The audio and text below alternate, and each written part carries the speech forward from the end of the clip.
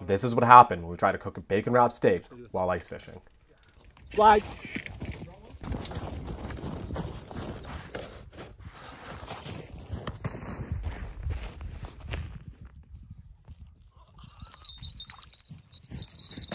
Oh! It's definitely bigger. I don't know how much bigger. I lied.